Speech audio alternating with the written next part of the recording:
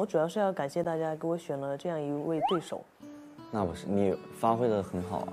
就是可能知道也没什么希望吧，所以上去比较轻松，他也比较搞笑，所以上个我上去整个人我都在笑。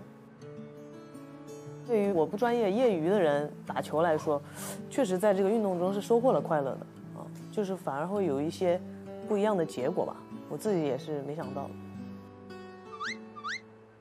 哎呀，我分辨不出来发球是转还是不转，然后我就老觉得他这样发就是转的，然后我就老想着就这样去接，然后开始看分儿就超紧张，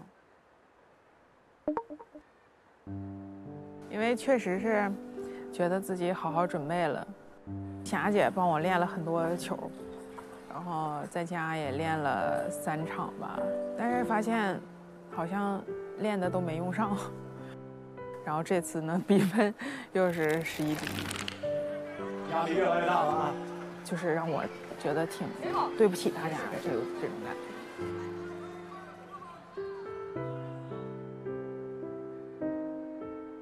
那个节奏没有，他因为他这个比赛他是需要一个，哎呀妈呀！冰一下再。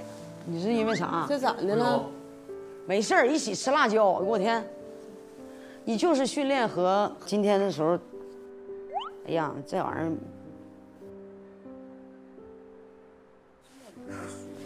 我是觉得啊，十一分制的一局的比赛的乒乓球的偶然性太大了，它决定不了说你们真实的水平。这个真的，哪怕你定今天七分制打三局两胜，你结果可能还有改变。对，你们别太难过，挺好的，挺好的，别太难过，别太难过啊，没事儿。Yeah.